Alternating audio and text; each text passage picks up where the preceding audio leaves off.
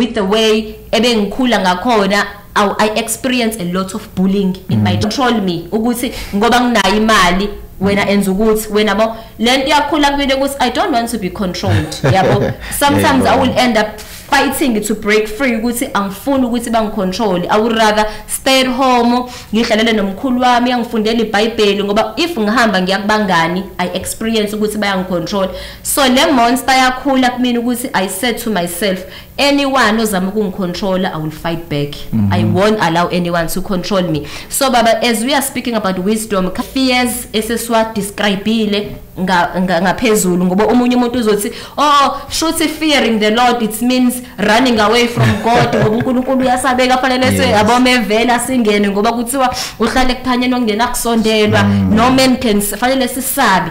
Then lonto baba i creator lento yokuthi when we sin we are running away from, from him yabo iyayisusa le knowledge ukuthi God is our father mm. we can always run to him mm. yabo mm. because we understand wrong leli gama elithi respect so kahle kahle if silifunda ngegama right sithini the uh, the beginning of wisdom is to respect the Lord. It's to honor the Lord, is to reverend the Lord. Okay. Yes, bab. So that's that's uqala kokuhlakanipha kukuhlonipha uNkulunkulu kukumesaba yabo uNkulunkulu. There is a scripture that i like babe silapha ku Job 28 verse 28 mm -hmm. and it's the fear of the Lord is the um, lithi i'm sorry lithi and and this is what he says. Understanding. Mm, mm, mm. which so, version is that? Uh, it's an uh, new living translation. Okay it's like sound yes. like yeah. Yeah. It's the fear of the lord is true wisdom to forsake evil is real understanding. Mm, so ukuqala kokuhlakanipha baba ukuthi uhloniphe uNkulunkulu. That's the true wisdom to respect the Lord. Mm. because phambi kwakho musu suyitshela ukuthi uzohlonipha uNkulunkulu ungamboni ungambona ngezi yabo so eternally um sengithi eternally eh ngaphakathi kuwena mm, yabo? Mm-hmm. in your innermost ukuthi sometimes it's very easy for us to say hayi mina ngiye angiye shibhini angihlangani nabantu abangakholwa eh ngoba ngisaba uNkulunkulu. But everything inside you doesn't fear the Lord.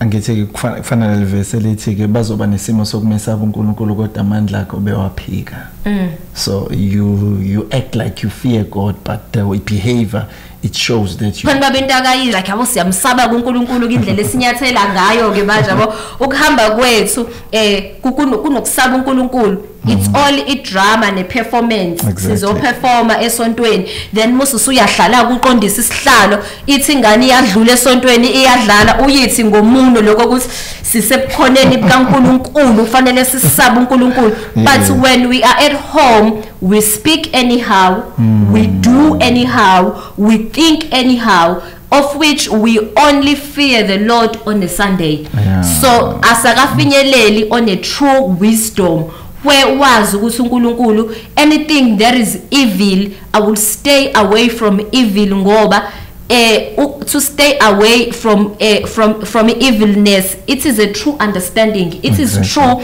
understanding that's your father who is seated in heaven he doesn't like evil. Mm, yeah that's true that's true. he doesn't associate himself with evilness.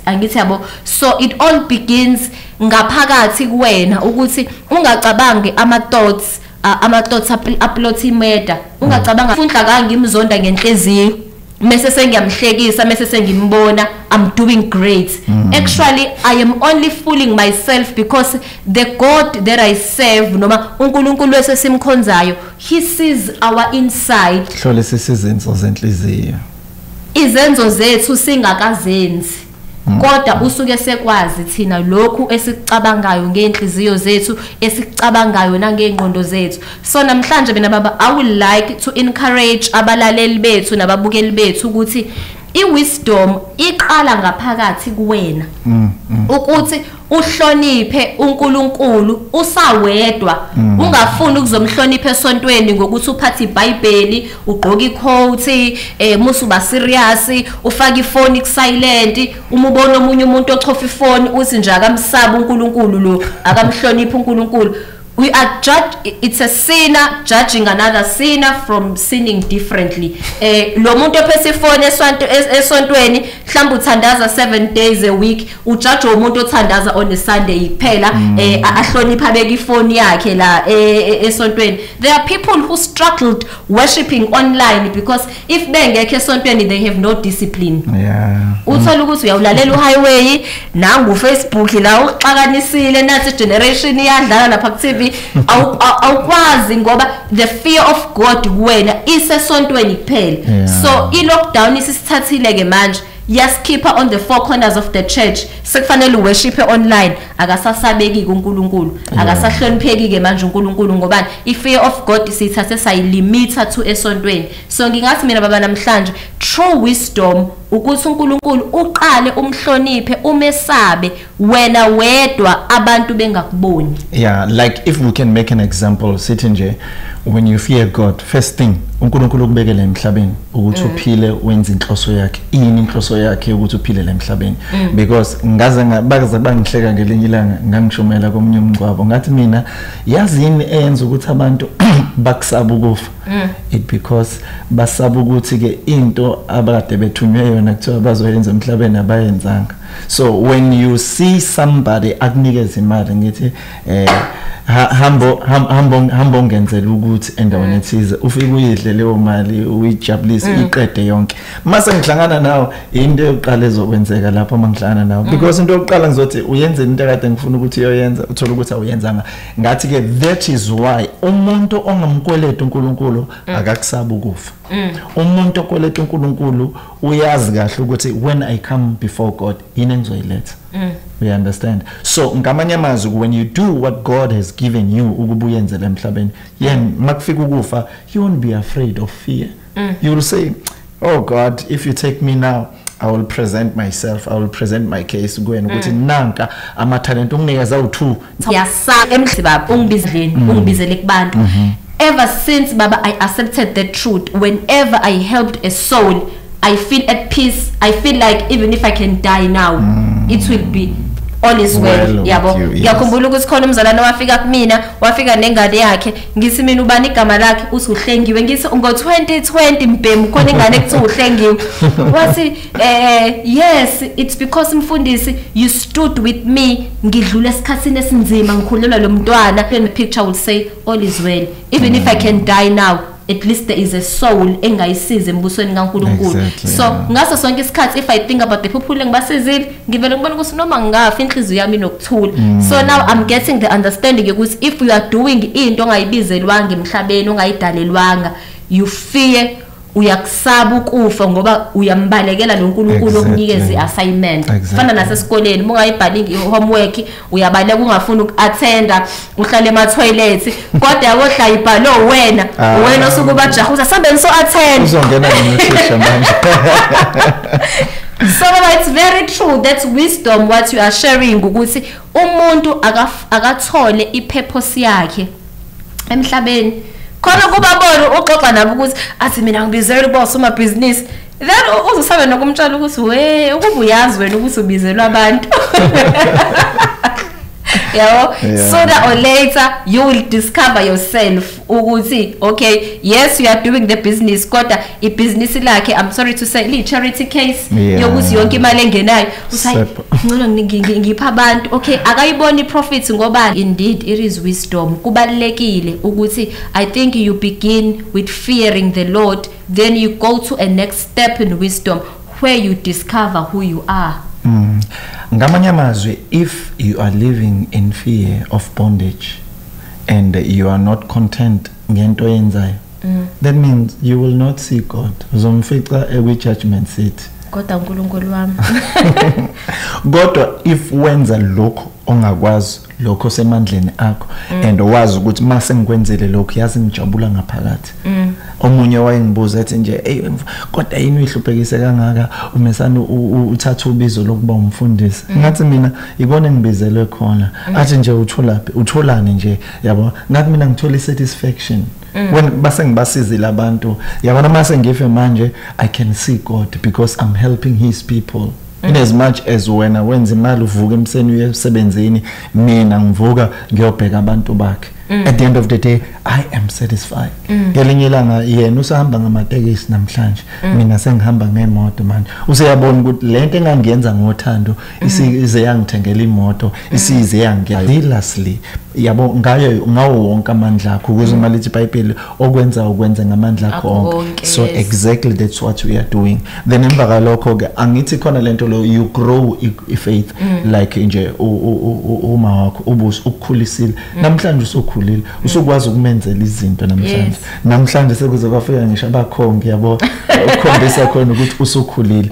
But uqala enakekela wena. But this time around the cha- the the isondo seliyajika jika Jika, uyayibona leyo nto? Because we have grown kanjalo ne-faith yakho. You, you, you start by building it Faith. until Wow. i-faith igcine isi- isinakekela Nakekela wena. wena. because Wow. isikhule yaba enough ukuthi isinama-results ewaproducer isinama-fruits ewaproducer wena usudla. Ani if ngifuna ifaith yami ingisebenzela shuthi the key grow, your faith. grow your faith. Once wayigrowisha it's like a parent okhulisa ingane yakhe until ingane yakhe igcine sethi i retire manje ma imina that i'm going to take care of you. Imina ngizokwenzela yonke into. So i-faith yakho ikanjalo. When your faith becomes mature it take good care of you. It cares for you. It fights your battles. It negotiate for you. It open doors for you. Anywhere you wanna go mm. iyona ikunegotiatelayo ikuhambela ngaphambili. Maqhamuka umuntu egula nje usebenzisa ifaith yakhe. Iyona esibasiza labo bantu laba. Mm. It's just your faith. Ukuthi wena you took time ukuthi uyikhulise. Khulise. yes. Wow. abantu abaningi bahlale bebalekela kizimo bebalekela ama challenges mhm. ukuthi bengakhuli. Then at the end of the day uthola ukuthi umuntu angakhulu uhlale nje eh, emile kuleyo level. It because maqhamuka i-challenge uyabaleka. Qhamuka i-challenge uyabaleka. Mhm. Qhamuka i-challenge ya- kanti i-challenge it's here to develop your muscle until mhm. you become a better person. Abantu baze basho bathi igcotshiwe oh, umfundisi umyeza. It because you faced ama-challenges and you grew from those challenges and you become a better person from those challenges. Because vese ke izinto obizelwe kuzona izona izokwenza ukuthi ube ngcono. Mm. And mase ube ngcono ke ungcono phezukwazi mm. then you can teach about those things odlule kuzona. Ngeke uzofundisa ngezinto ongadlulanga kuzona you become an expert kulento le okade ubhekane nayo yeah very true. Because baba it's very easy for us as people ukuthi si si si si- sifundise izinto esifunde encwadini. Sometimes you you always hear and feel umuntu mefundisa into ayifunde encwadini efundisa into angadlulanga kuyona. That's true. yeah kuyazwakala abo cause izwiwa yilo muntu ohleli phansi odlulayo esimeni othi ukhulunyiswa ukuthi awu- awukaze wadlula lapho yabo? ngiyakhumbula ukuthi ngelinye ilanga ngaye ngaya komunye umngcwabo eh ngiyofihla eh mase sengiyashumayela then eh mase sekusukuma uthisha omkhulu because kwakushona ingane.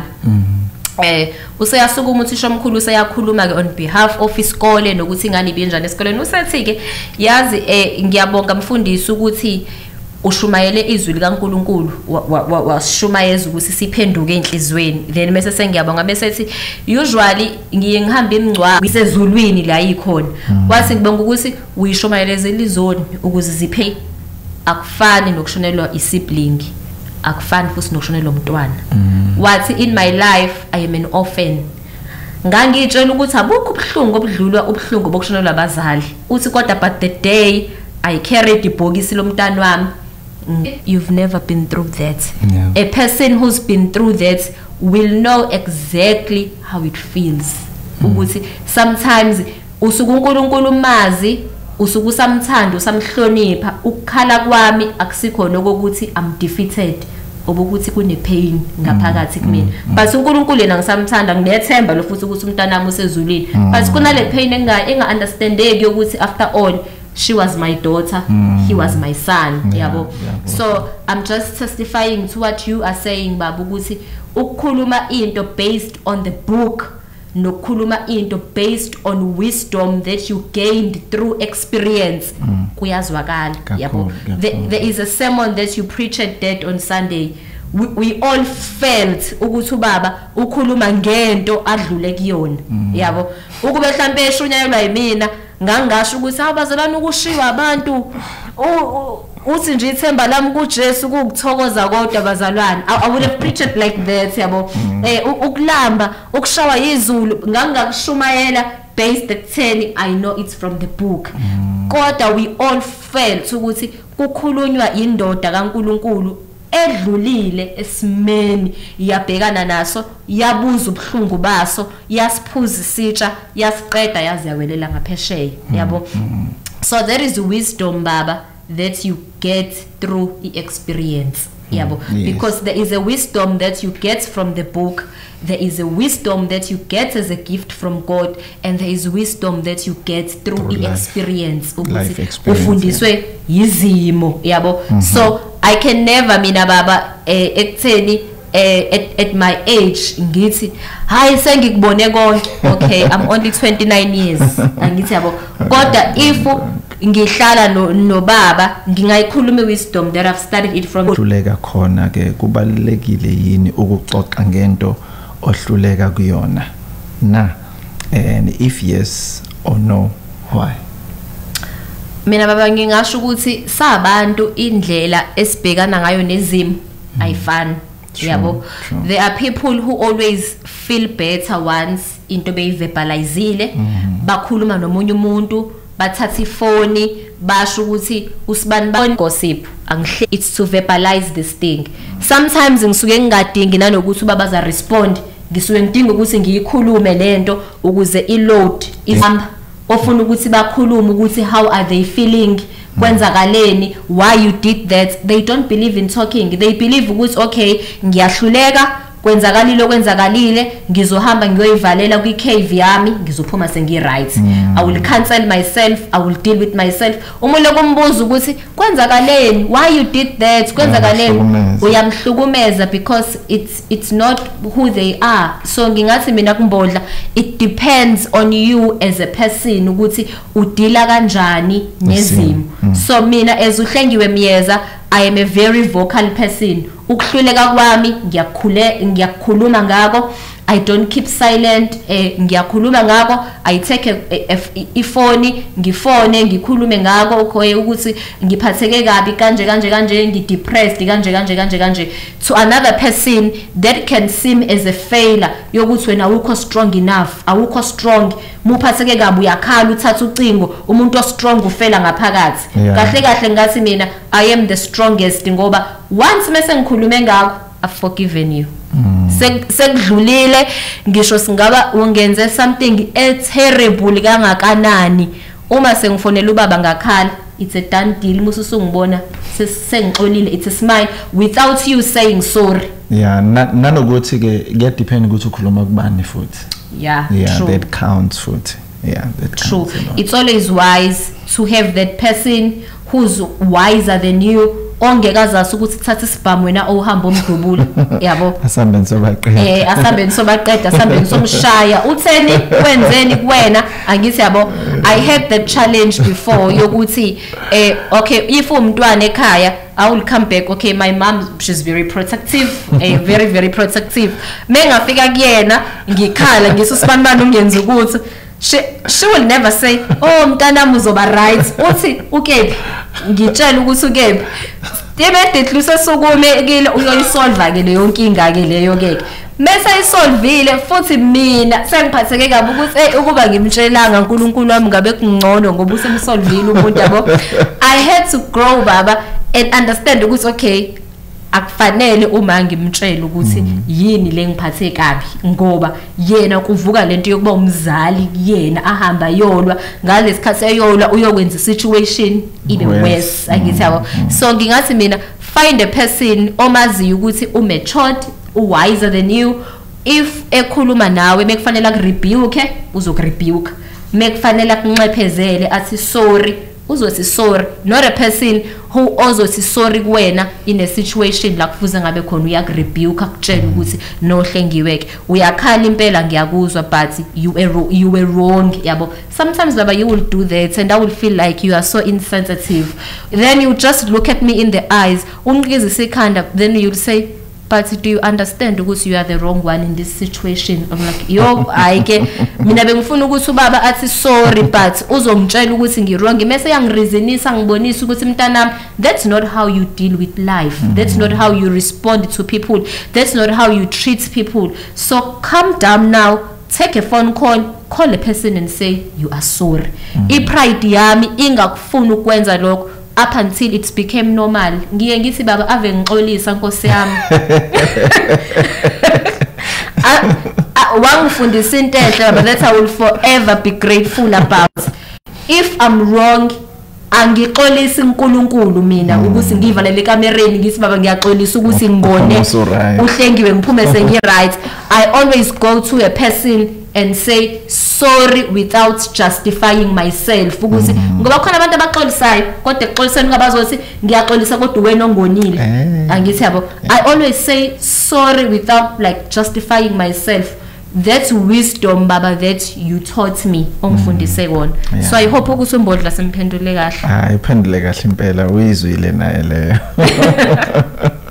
Siyabonga Serious. kakhulu baba. Yeah no thank you very much. We are looking forward ukuthi sibuild impilo zethu ke because uh, ibhayibheli lize lisho lithi owesifazane ohlaniphile uyawakha umuzi a wise woman. Why ningasho ukuthi a wise man builds his own house but lithe owesifazane ohlakaniphileyo Baba that's a topic for another day because I was telling someone ngithi khona istatement enisenzayo njenganabantu besilisa nithi eh ngifuna uyovusa umuzi kababa. Eh uyogijima phema ema- emagcekeni akohlophe uvusa uvusa umuzi kababa. Yabo zonke lezo zinto. Actually you recognize a woman ukuthi okay wena you can't build. That is why umlande kubo a- a- azokwakhela ngoba on your own you couldn't build the house. You, Yeah. you needed her. Shuthi mhlambe baba singasho ukuthi that, that the wisdom of building was was given to a woman. Icapacity thina Yes. abantu besilisa vese bayahlaphaza bayacosha bayathatha. Ukwazi ukushiya ingane yakhe ayokondla ezinye ize- iy'ngane zomunye umuntu ashiye Very zakhe true. iy'ngane yabo? But umuntu wesifazane uyekela isikole azokhulisa iy'ngane zakhe. Yeah. Ad- apatanise amabhizinisi ahlanganise akhulise zakhe iy'ngane. That means leyo nto leyo yakhiwe kunina it's a inbuilt. It's inbuilt. Yeah so ukwakhe even noma uyintombazane. Umfana uma ekwasebenza umfana ekhaya uzombona ngemoto nokugqoka kahle. Yeah. kodwa uma wasebenza intombazane uzobona ukushintsha kwekhaya. Ya kufana nentombazane emishono labazali isancane. Iyakwazi ukubamba iy'ngane zakubo abafowabo abakhulise and, and, and provide for them. There is a friend of mine that i always admire abashonela abazali obhuti bakhe badala kunaye mncane but she's holding the family together. She provides for them. Bona bayayiphuzela bayayibhemela badala kunaye mncane. Yena she quitted school wahamba usebenza and right now she's busy building a home for them. Ngiyayibona yabo. ke leyo so nto. shuthi baba it's very true ukuthi it's an inbuilt capacity to build. Yabana mase ngikhuluma iqiniso abantu besifazane bangawuranisha umhlaba. Yeah but, but they, there's Umuntu- one thing that you Yeah. said one day mm. wathi there is a thin line between a, a confidence and the pride. Wathi if umuntu wesifazane wafinyelela where she knows how powerful she is i-pride steps in. Yeah ukuthi kufanele uku-understand that's why you need that wisdom yes. ezokwazi ukufundisa ukuthi no no no no no let me push this king. Kodwa le king izothi mayibusa ibusa ngami ama-advice ama-instructions wathola kumina. Kodwa iyona evelayo laphana. Shuthi ngakho ibhayibheli lithi u- indoda iyahlonishwa nje. emasangweni. Angithi ukuze uma kuthiwa eh, eh, okuhlula amadoda kuyabikwa. Kubikela abantu besifazane. I didn't know ukuthi kubikela abantu besifazane. I'm just assuming bengihlezi ngizwe ukuthi kuthiwa okuhlula amadoda kuye kuyabikwa Eh, kuba kuya komama ekhaya ukuthi hayi cha ibambele la. Bathi one two omama nisanihlangane lo angithi kuqala bekuthi indoda mangabe bebona ukuthi ekudlula unyaka kwadlula iminyaka emibili emithathu kuthiwa hawu u- u- kwangabonakala nje. Omama ibona bebehlanganisa kuze kuthiwe kuyaziwa ukuthi ingane yakabani. Yebo. Abambe lapho. Brother ngena lapha yana so izinto ezazenzeka kuqala because abantu besifazane ibona benza izinto zenzeka. You're reminding me baba of a, of a funny post engiyibone ku Facebook izolo ipost obunye wesifazane uthi okay ngicela sakhane ke thina. Esishade no leadership uh, ama comrade eh. What's it? It always difficult eh u- u- abantu babona sengathi ukushada i-comrade into difficult but li difficult i-comrade yolinda ekhanda eqinile but they are not ukusini ngaso sonke isikhathi uma umbiza use leadership ibinjani ngiyaxolisa use leadership ibinjani i- i-meeting lapho? Yabona ukuthi u-esibagashule wenzani? Azizwe enamandla musiyamlalela ke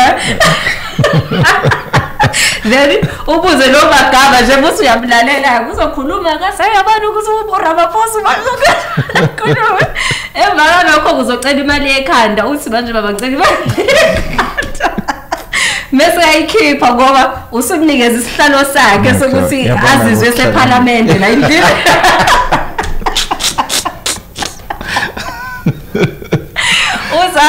nawe again ukuze angeke azabe nesikhwele. Menihambe emall uthi nje mengihamba nawe gerila lama ngisafe angithi uyabona ukuthi fanele kumhlakaniphela yeah. So that was wisdom eh, eh, Big time, big time, big time. We need more people who are wise Yes. than people who are emotional. Otherwise, if we are wise, then thing will work out for our good. yeah siyabonga baba. Okay, and we need people like you people of wisdom abazosicija ekuhlakanipheni. Yeah, kuze isikhathi omunye ukayi abe yivukela mbuso umbuzo ukuthi okay what yini inkinga yakhe lo muntu la? Bese uyabona ukuthi no lento ayihlokoloza hayi ngoba eyihlokoloza ingoba naye uyayifuna lento ufuna kugudluke lo eyiphethe ukuze iphathwe yena.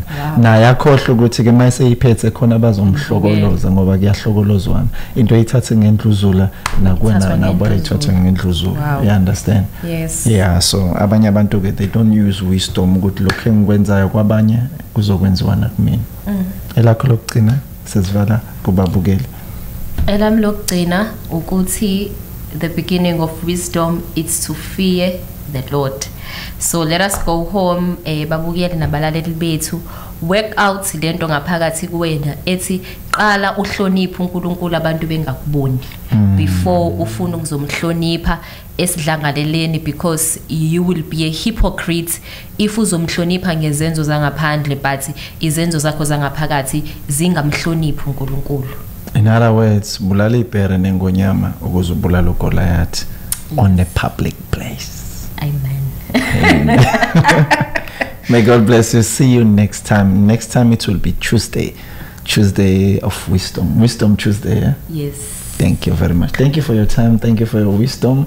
Oyisherile sukile namhlanje. We love you so much. ngiyabonga kakhulu baba Thank you. See you. Ika radio isaqhubeka ngo12 o'clock uzobe khona laphana-ke the Queen of the Palace ngo3 o'clock yobe khona laphana-ke Pastor Shezi. Mamngomezulu Shezi. God bless you. thank you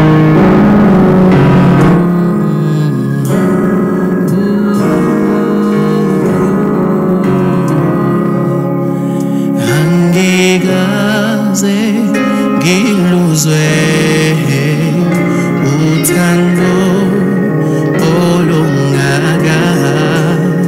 Selokhu ngazana nawe